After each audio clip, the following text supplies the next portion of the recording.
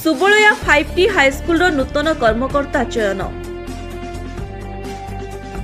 ସୁବର୍ଣ୍ଣପୁର ଜିଲ୍ଲା ବୀର Maharajpur block Subalaya five ଟି ହାଇସ୍କୁଲରେ ନୂତନ ପରିଚାଳନା କମିଟି ଗଠନ।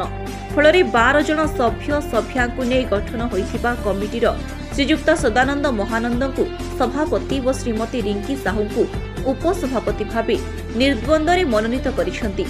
ହାଇସ୍କୁଲର ପ୍ରଧାନ ଶିକ୍ଷୟିତ୍ରୀ ଶ୍ରୀମତୀ ଶୂନ୍ୟଲତା ବେହେରାଙ୍କ ଉପସ୍ଥିତିରେ ଏକ କମିଟି ଗଠନ କରାଯାଇ ଆଗାମୀ ଦିନରେ ଛୁଆମାନେ ଭଲରେ ପାଠ ପଢ଼ି କିପରି ଆଗକୁ ଯିବେ ଓ ଖେଳକୁଦ କରି ଦେଶର ନାମ ରଖିବେ ବୋଲି ଆଲୋଚନା କରାଯାଇଥିଲା। ଫଳରେ ନୂତନ ପରିଚାଳନା କମିଟିର ସଦସ୍ୟ ସଦସ୍ୟାମାନେ ବିଶ୍ୱାସ ଭରସା ଦେଇ କହିଛନ୍ତି ଯେ ଆମେ କମିଟିରେ ଥିବା ପର୍ଯ୍ୟନ୍ତ ଯେପରିକି କୌଣସି ଅସୁବିଧାର ସମ୍ମୁଖୀନ ହେବାକୁ ନ ପଡ଼େ ଶାନ୍ତି ଶୃଙ୍ଖଳାରେ କମିଟି ଗଠନ ହୋଇଥିବାରୁ ହାଇସ୍କୁଲର ହେଡମାଷ୍ଟର ଶ୍ରୀମତୀ ସ୍ୱର୍ଣ୍ଣଲତା ବେହେରା ଆନନ୍ଦ ଲାଭ କରିଛନ୍ତି।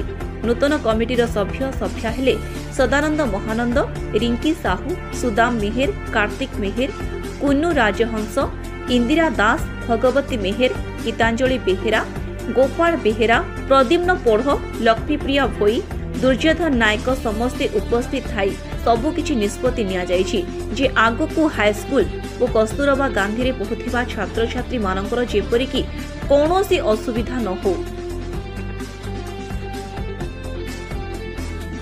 ସୁବର୍ଣ୍ଣପୁର ସଦାନନ୍ଦ ମହାନନ୍ଦଙ୍କ ରିପୋର୍ଟ ଟାଇମ୍ସ ୱାନ୍ ଓଡ଼ିଆ।